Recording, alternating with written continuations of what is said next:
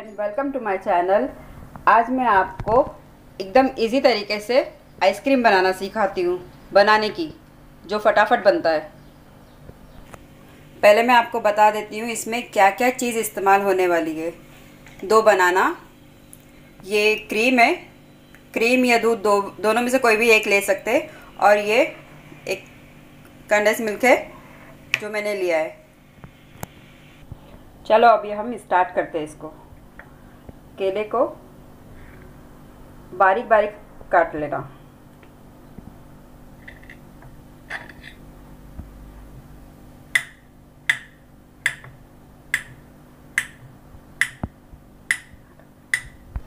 देखिए, मैंने इसको एकदम बारीक काट दी हूँ दोनों केले को। अब इसको हमको फ्रीज़र में एक घंटा रखना है। जब तक कि ये बर्फ़ बन जाए, तब तक का इसको फ्रिज में रखना है। फिर बाद में मैं आपको बताती हूँ इसका क्या करना है। तो अभी मिलते हैं हम एक घंटे के बाद। देखिए, इसको एक घंटा हो चुका है फ्रिज में रखे, फ्रीज़र में रखे हुए, और ये अच्छी तरह से कड़क हो चुका है। और मेरा क्रीम भी अच्छे से ठंडा हो चुका है। और मैंने डेकोरेशन के लिए थोड़ा सा बादाम और किशमिश ली हूँ। ये ऑप्शनल है। अगर आपको डालना है तो डालिए, या तो फिर कोई भी चीज़ आपके पास हो तो वो भी डाल के डेकोरेशन कर सकते हैं। ये अभी मैं जार में बनाना डाल रही हूँ। ये सारे एक साथ में डालना है।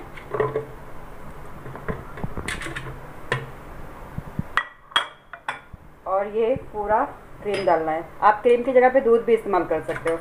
मैंने क्रीम इस्तेमाल करी।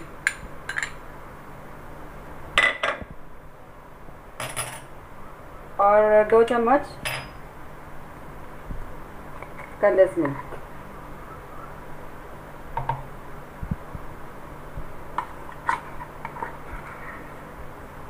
ये भी ऑप्शनल है, अगर इसमें अगर आप शक्कर डालते हैं तो शक्कर भी डाल सकते हैं, अगर आपके पास कंडेंस मिल्क नहीं हो तो शक्कर भी डाल सकते हो। अभी हम इसको पीस के बताते हैं। देखो, अभी मैं इसको पीस रही हूँ और इसको स्लो स्लो पीसना है। एकदम फास्ट एक साथ में नहीं पीसना है, नहीं तो ब्लेड ख़राब हो जाएगी।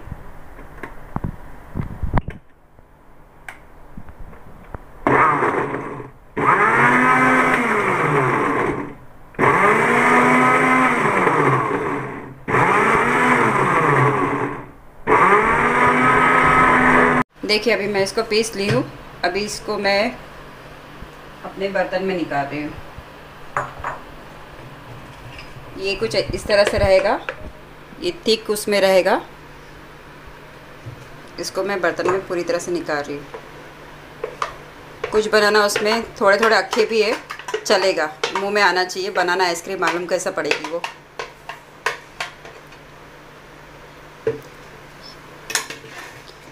ये मेरा हो चुका है और इसको मैं और आधा घंटा फ्रिज में रखूँगी। तो अभी मेरा ये आधा घंटा हो गया है। मैंने अभी इसको फ्रीज फ्रीज़र में से निकाल दी हूँ। अब इसको मैं सर्व कर रही हूँ। और ये मैंने बनाई हूँ तो घर के आ, क्रीम से बनाई हूँ। जो हम लोग रेगुलर दूध मंगाते हैं उसमें से जो क्रीम निकलता है उसका बनाई हूँ। और जो बाहर रेगुलर जो मार्केट्स में मिलता है तो वो क्रीम से भी बना सकते हो मगर ये मैंने घर की क्रीम से बनाई हूँ। ये देखिए, मैंने इसको बनाई हूँ। तो देखिए कितना स्मूथ निकल रहा है।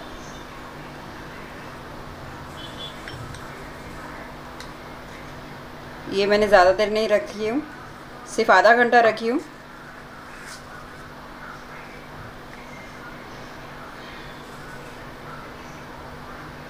क्योंकि मेरे बच्चों को कुछ ज़्यादा खाई है खाने की, और वो लोग थोड़ा सा स्मूथ खाते हैं। इसके लिए मैंने ज़्यादा देर इसको रखी नहीं हूँ।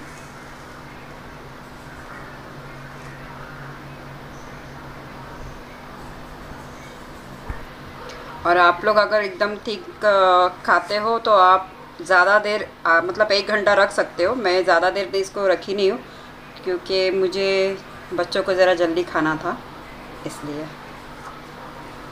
और हम इसको ये किशमिश आपको जो चाहिए आप डाल सकते हैं टूटी फूटी भी डाल सकते हो, किशमिश भी डाल सकते हो, जो भी घर में है वो डाल सकते हैं आप। लॉकडाउन का टाइम है तो घर में जो भी सामान रहता है उससे आप बनाइए, घर वालों को भी खिलाइए, खुद भी खाइए।